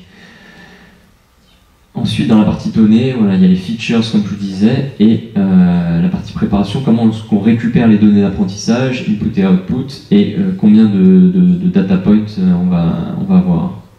Ce qui peut être intéressant à savoir pour faire certains choix technologiques après.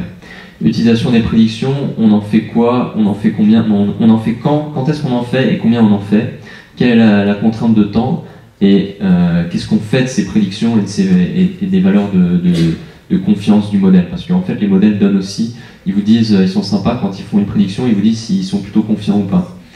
Euh, ce qui peut être très intéressant. Apprentissage du modèle, quand est-ce qu'on va mettre à jour le modèle avec des nouvelles données et avec quelles nouvelles données? Euh, Est-ce qu'il y a une contrainte de temps et quels sont les critères avant de, déployer un modèle en production, donc notamment vis à -vis de sa performance. Et j'ai aussi un exemple où je l'ai appliqué ça au churn.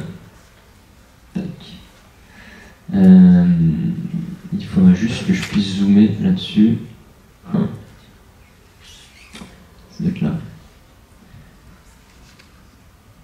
trop ça. Donc le churn, euh, comme je disais un peu plus tôt, c'est prédire les gens qui risquent de s'en aller. Donc euh, voilà, on est une compagnie, on est une société qui vend des, abonnements euh, tous les mois euh, à renouveler et on veut la proposition de valeur. Donc là, c'est pour la société, c'est que le, taux de, gens qui s'en vont va être réduit et donc du coup, le nombre de, clients total va être augmenté et ça fait plus de sous, c'est génial.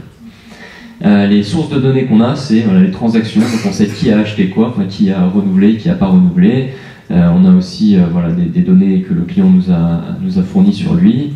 Euh, on peut avoir des données d'un outil de customer support, donc de relation client. Zendesk en est un assez populaire. Un, outil d'analytics, que ce soit Google Analytics ou Mixpanel, qui va nous dire ce que les gens ont fait sur notre application. donc là, je ne sais pas si je l'ai dit dans le contexte, mais j'ai pris un exemple où on, vend une application en mode SaaS, Software as Service. Le problème, c'est est-ce que le client va nous quitter euh, sous euh, un délai d'un mois? Donc euh, l'input, c'est un client et la réponse possible, c'est oui, non. Donc c'est de la classification binaire et une baseline, une façon alternative de faire ces prédictions, c'est de regarder si ça fait plus qu'un certain temps que le client ne s'est pas connecté. Si ça fait plus que 15 jours, ben, on a peut-être observé que ben, plus que 15 jours, ça veut dire que le la personne ne reviendra plus. Euh, donc ça, ça, ça peut être une baseline intéressante à laquelle on va, on, va se comparer. Et euh, l'évaluation de la performance, on va évidemment regarder le taux de gens qui churn, donc le taux de gens qui s'en vont, mais aussi on va considérer le, retour sur investissement en prenant en compte le fait que bah, ça nous fait gagner de l'argent, le fait qu'il y ait des gens qui, restent, euh, et, mais par contre, ça nous coûte de l'argent de, de, devoir contacter ces gens ou de faire, une, de, de faire une action pour les faire rester. Ça, ça va jamais être gratuit. Donc voilà, il faut voir si euh, on a un retour sur investissement ou pas. Les mesures de performance, on pourra regarder tout simplement euh, combien de pourcents du temps on fait des prédictions correctes. Il y a une mesure savante qui s'appelle la F-measure. Bon, après, il y a euh, tout simplement, on peut regarder le nombre de faux positifs. Donc c'est les gens dont on dit qu'ils vont s'en aller et qui en fait restent. Et le taux de faux négatifs, c'est les gens qui dont on dit qu'ils vont rester, mais en fait qu'ils vont s'en aller. Donc les faux positifs, euh, le problème c'est que ça va nous coûter de l'argent pour rien parce qu'on va passer du temps sur ces gens-là, on va faire une action alors qu'en fait si on n'avait rien fait, ils seraient restés. Et les faux négatifs, eh ben, en fait on rate des gens qui vont s'en aller. Donc euh, euh, c'est une perte de revenus potentiels. ça, je ne vais pas aller dans le détail. Et le dataset, c'est bah, des, photographies des clients qu'on a pris il y a un mois. Et euh, à ça, on associe le fait que euh, bah, aujourd'hui, donc un mois plus tard, euh, un mois après avoir fait ces photos, on sait si ils ont renouvelé ou pas. Et ces, infos, on les obtient de, la base de transaction. Et voilà, on, a autant de, data points qu'il y avait de, clients il y a un mois. Les features, ça va être voilà, représenter le, client, son profil, son, son âge, s'il gagne beaucoup de sous, est-ce qu'il a fait, est-ce qu'il est allé à l'université, euh, apparemment, il y a des gens qui arrivent à, récolter ce, genre d'infos, je sais pas moi qui l'ai inventé. Euh, donc l'usage, euh, on va essayer de caractériser son usage de l'application, combien de fois il s'est connecté par exemple, et on va essayer de caractériser ses interactions avec le, support client. donc qu'est-ce qu'il a effectué comme requête, quel type de requête, combien de requêtes, est-ce qu'il a dit s'il était satisfait ou pas, et enfin, on peut avoir d'autres informations contextuelles comme bah là c'est une application web, ça je disais, donc euh, sur quel type de browser il a, quel type de smartphone, hein. ça, ça, peut euh, ça va peut-être avoir un impact. et voilà, comment est-ce qu'on utilise les prédictions? Alors déjà, quand est-ce qu'on les utilise? Bah, C'est à chaque fois qu'on a créé un modèle, donc ça, ça se passe une fois par mois, donc ça, on va voir le, bloc en face. Et on sépare en fait tous les clients en deux moitiés la première moitié, euh, on ne va pas y toucher, et la deuxième moitié, on va faire des, prédictions dessus. Euh, je vais expliquer pourquoi en vous disant, euh, bah, en allant sur le, le, bloc d'en face. En fait, on apprend un modèle, un nouveau modèle chaque mois à partir de, du, donc du, du, premier set. Alors je dis, il y a deux sets, un auquel on ne touche pas et l'autre sur lequel on va, on, va faire des, on va prendre des actions, donc potentiellement contacter les gens pour qu'ils restent. Euh, celui qu'on ne touche pas, c'est ce qu'on appelle le, holdout set. Et donc on va prendre les données euh, du holdout set du mois d'avant euh, pour voilà, savoir avoir des informations sur qui, qui a, quitté le service, qui n'a pas renouvelé et qui a renouvelé.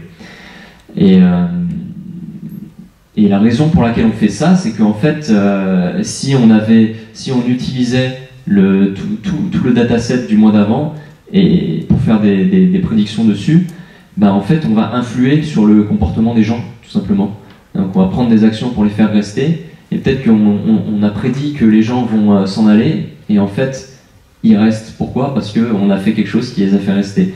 Donc euh, pour, éviter ce genre de problème, eh ben, on sépare en deux. Il y a des gens pour qui on fera rien du tout. Euh, c'est peut-être un peu dommage, mais au moins ça, continue à nous alimenter en, données saines, le fait de faire ça. Donc là, contrainte de temps, il n'y en a pas vraiment pour ce genre d'application. J'ai mis, euh, si on veut faire ça sur, une nuit, ben, on fait 6 heures pour faire les prédictions. D'abord 6 heures pour apprendre le modèle et 6 heures pour faire toutes les prédictions. Et après, pour les utiliser, ben, on, regarde tous les gens qui, dont on avait prédit qu'ils allaient euh, allaient s'en aller. Et, généralement, ce qu'il faut faire, c'est euh, envoyer ces gens-là dans un autre modèle qui va dire si on peut faire quelque chose ou pas pour les, pour, les faire rester. Il y a plein de gens qui s'en vont parce que euh, parce que c'est la vie, je sais pas, ils ont plus de sous, vous pouvez rien y faire, et ça on peut le détecter en fait. Donc tant qu'à faire, plutôt que de contacter des gens qui vont de toute façon s'en aller et, et, et je pourrais rien y faire, bah, je vais plutôt euh, contacter les gens qui vont s'en aller et sur lesquels je peux, euh, euh, influer. ou alors on peut, on peut aussi prendre, considérer un autre modèle qui va prédire quelle action effectuer pour maximiser les chances que la personne reste. Donc voilà, on se rend compte qu'en fait, souvent, bah, un problème de, un système prédictif va en appeler un autre. En, faisant en ayant cette vue un peu haut niveau, on se rend compte de ça. Et euh, ensuite, bah on, priorise, tous les gens qui restent en prenant en compte bah, le, les, sous qu'ils ramènent, euh, parce qu'il y a probablement des gens qui ramènent plus de sous que d'autres parce qu'ils ont un, abonnement premium et d'autres un abonnement normal. Et on va aussi prendre en compte euh, la confiance du modèle sur la prédiction de churn, hein, pour prioriser qui est-ce qu'on contacte en premier. On passe la liste priorisée à l'équipe support à l'équipe relation client. Si on a des, actions prédites à effectuer pour chaque personne, on, les donne aussi. Et, et, puis ce qui peut être intéressant aussi, c'est de donner les, explications. Si on a un modèle descriptif, comme le cas de, de, l'arbre de, décision, on voyait pourquoi est-ce qu'il faisait telle et telle prédiction eh ben, ça peut être intéressant de, dire aussi à l'équipe client qu'on a prédit que la personne allait s'en aller parce que bah, a telle et telle caractéristique. Ça peut aiguiller la, personne côté relation client. Euh, voilà, donc après, si on, va déployer le modèle, si on a une performance qui est meilleure que la baseline sur euh, euh, bah, certaines métriques d'au moins temps, voilà, il faut être, il faut être au moins meilleur de X%. Voilà, ça, c'est des choses à, discuter et les réponses peuvent figurer dans ce petit canevas. J'ai utilisé pas mal de temps. Euh, si jamais vous n'avez pas le temps de me poser vos questions, euh, bah, de toute façon, moi je reste un petit peu après. Hein. Et je vais juste finir par euh, vous dire que si vous voulez en savoir plus, il y a un site web, machinelearningcanvas.com, sur lequel il n'y a rien. vous pouvez, euh, vous pouvez mettre votre adresse email et euh, dès que ça devient public, ça, bah, vous serez les premiers informés. Voilà, donc une, autre avant-première. Et donc là, j'ai fini avec le contenu euh, principal de la présentation. Je vais juste faire un petit peu de, de pub pour deux trois trucs. Une conférence que je co-organise qui s'appelle Papise. L'an dernier, c'était juste avant Strata, c'est pour ça que j'étais à Strata après que j'ai rencontré euh, Leonardo. Et euh, cette année, ça va être à Sydney en Australie. Donc c'est sur les, les, les, API de prédiction et les applications prédictives. Donc voilà, on se concentre sur du machine learning, mais un petit peu bah, dans, dans, la vraie vie, quoi. Le machine learning dans la vraie vie avec les, les vraies contraintes qu'on a pour, euh, pour déployer ça. Et Papis Connect, c'est un événement peut-être plus orienté euh, pour les décideurs et les gens métiers. Euh, et euh, chouette, c'est pas en Australie, mais c'est à Paris, donc beaucoup plus près. Et il n'y a pas encore d'infos sur Papis Connect, mais ça va être imminent. Vous pouvez déjà mettre dans vos agendas que ce sera le 21 mai. Et encore une fois, si vous voulez être tenu au courant, bah, il y a un moyen de mettre euh, votre email sur papis.io pour recevoir les, news. Et ça, c'est le fameux bouquin que bah, l'un de vous va gagner. Et il y, a un petit peu plus que le bouquin, en fait. J'ai aussi créé des ressources pour faciliter l'apprentissage de certaines API de prédiction, donc euh, en l'occurrence Google Prediction API et BigML. Il y a des screencasts, euh, des vidéos, des tutoriels interactifs, des, euh, bah, des, tutoriels comme on a vu avec le Python Notebook. Et j'ai mis quoi d'autre? J'ai mis du code pour les gens un peu techniques, et même une machine virtuelle pour être sûr que ça tourne sans souci. Et il y a une réduction de 50% si jamais vous voulez l'acheter, euh, avec le code TDS, tout simplement, Toulouse Data Science. Euh, et c'est sur mon site web, donc louisdorard.com. J'ai pas d'éditeur, hein, c'est moi qui auto-édite le truc. Euh, donc faut aller sur mon site, et il y a une version, ah, j'ai laissé ça, une version paperback et une version papier, soit vous pouvez l'obtenir directement ce soir, ou sinon demandez-moi. Il y a aussi un code, je pourrais vous le donner. Et voilà, mon site c'est louisdorard.com. Merci beaucoup pour votre attention.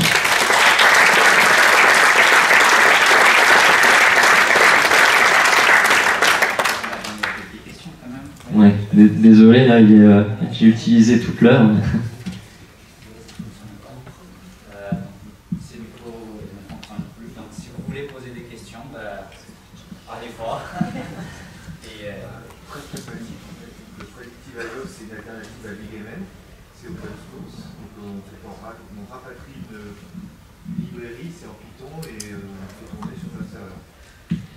Prediction.io, euh, la, ouais, la, question était sur Prediction.io, un petit peu euh, une comparaison avec BigML.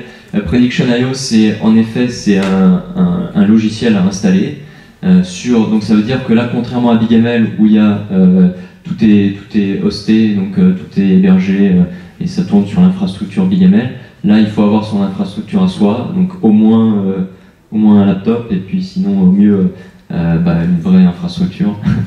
Euh, qui, peut, euh, qui peut servir pour la production.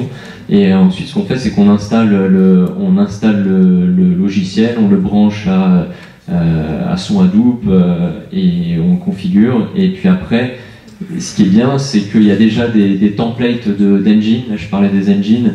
Il va y avoir un template pour faire bah, de, la churn prediction, par exemple. Donc, avec déjà beaucoup de choses qui sont en place.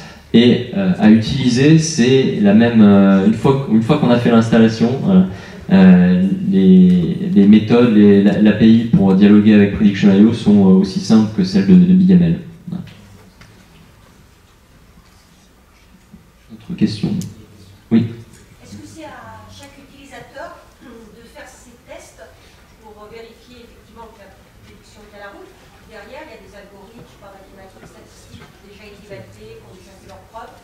En gros, quelle confiance on peut accorder à alors, il y a. BigML a, euh, je crois que c'est les seuls en fait à intégrer la partie, euh, euh, à intégrer déjà des, mesures de, de, performance, évaluation de performance. je parlais un petit peu de ce qu'il y avait sur Prediction.io. Donc ça c'est relativement récent, donc il y a déjà des trucs précodés, mais voilà, en tout cas sur BigML, on a, on a déjà tout un processus où on va dire je veux évaluer la performance de mon modèle et il va faire tout ce que je disais de séparer le dataset en deux, en, dataset utilisé pour l'apprentissage et en dataset utilisé pour euh, des tests. Et après, il va faire, euh, il va comparer donc les, les, prédictions à la, à, la réalité qu'on avait cachée. il va donner certaines mesures, mais parfois ce qui peut se passer, c'est que les mesures qu'il euh, qui, qui, va donner, donc c'est des mesures génériques pour tout le monde, il se peut qu'elles soient peut-être pas forcément super pertinentes dans le cas précis. Euh, auquel on a affaire. Donc ça, c'est un petit peu du cas par cas. Et c'est là où, euh, s'il y a besoin de... Euh, donc, je, laissais un peu sous-entendre qu'on peut se débrouiller sans data scientist avec ces outils-là. Bah, là, en fait, on va peut-être plus aiguiller le data scientist sur ces problématiques-là, de mesurer que ce qu'a fait BigML, c'est pas trop n'importe quoi. il y a un autre truc que je voulais dire, mais ça me revient pas. c'est pas grave. Ah si, il y a aussi, il y a aussi une, une, mesure un petit peu plus comment dire, un, petit peu plus fiable où euh, cette, euh, ce processus de séparer en deux et d'évaluer, il va le répéter plusieurs fois sur des séparations en deux euh, qui sont un petit peu aléatoires et donc voilà, il va faire plusieurs tests comme ça, il va faire une moyenne de, des, des, résultats et ça donne une, une mesure un, peu plus, un peu plus fiable. Hein. Oui L'ancien combattant, mais je crains que ces API soumettre face un peu cache-sexe et cache-problème. Parce que derrière, donc, on a vu qu'il y avait un choix de modèle qui est fait par, par qui est un arbre. Mm. C'est un choix possible parmi beaucoup d'autres. C'est vrai que c'est un peu dommage de ne pas avoir ce, choix parce qu'on sait, avec un peu d'expérience, on sait que choix de la méthode de modélisation a un impact réel sur la façon dont, la prévision est construite et la qualité de la prévision. Ça, puis après, il y a un autre choix aussi qui est masqué, c'est le choix de complexité du modèle. Mhm. Est-ce qu'elle est optimisée? Comment c'est optimisé? Il y a un problème qui est bien connu qui est celui du surapprentissage, et c'est dommage de passer à côté de cette problème Alors, euh, il y a donc euh, la, remarque, question, c'était que on cache la partie euh, algorithme. Et du coup on n'a pas la main sur quel algorithme on va utiliser et on ne sait pas si est-ce que l'algorithme va euh, il y a des algorithmes qui, vont euh, avoir tendance à, surapprendre, ce qu'on appelle surapprendre. Sans rentrer dans les détails, en fait, ce qu'on peut tout simplement faire, c'est, euh, bon, voilà, sans avoir la main sur l'algorithme, quand même faire une première, un, premier essai avec BigML, ce qui va nous donner une, sorte de baseline, et on peut après bah, mesurer, évaluer la, performance de ce truc, et voir si ou pas ça fait euh, ça a une amélioration sur notre baseline.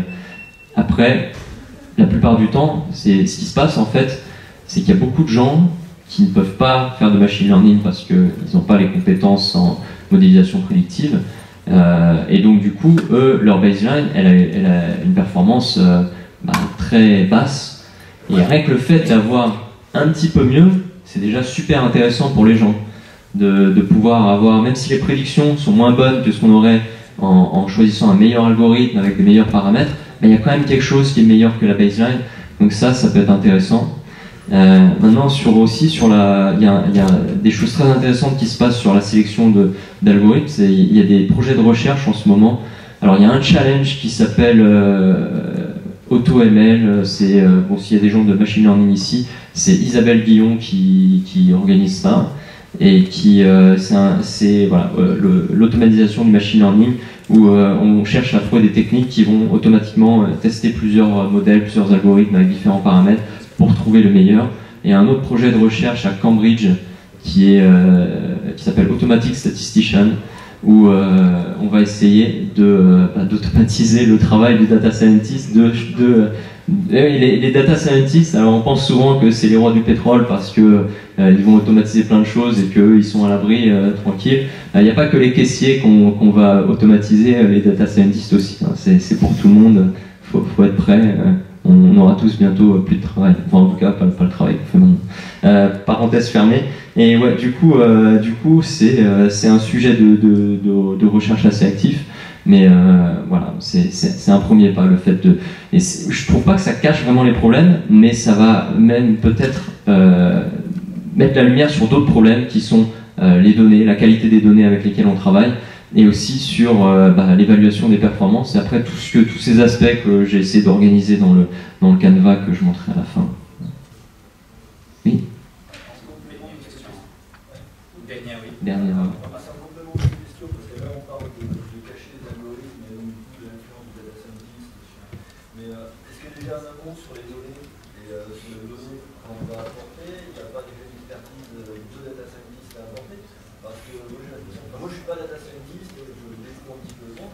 Et euh, je me dis que bah, si je veux prédire quelque chose, je ne suis pas sûr d'être moi-même qualifié pour savoir quoi fournir à une API prédiction pour qu'elle puisse me faire un modèle qui va bien faire le Ouais. Déjà, est-ce que là, il n'y a pas quelque chose Alors, est-ce qu'il y a un travail de data scientist dans la préparation des données à envoyer à ces euh, et compagnie Ouais, ouais, non, mais je- j'essaie de, de résumer la, la question.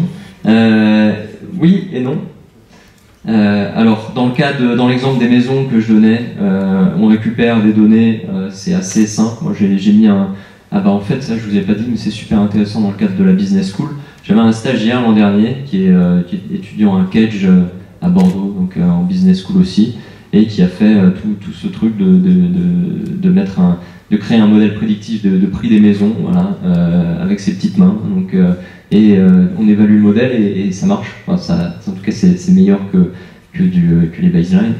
Et donc du coup, ouais, euh, faut pas se dire que je sais pas coder, je peux rien faire. hein. Si lui l'a fait, j'aurais tendance à penser qu'il est plutôt malin parce que je l'ai pris en stage. Mais si lui l'a fait, euh, vous pouvez tous le faire.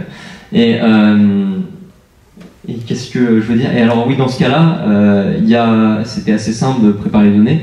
Quoique après, on peut penser, comme je disais, à, créer de nouvelles données. Ça va être plus être un travail de, bah, de software engineer où il va falloir combiner les données. Il n'y a pas d'expérience. euh, hein, des données manquantes, des outliers.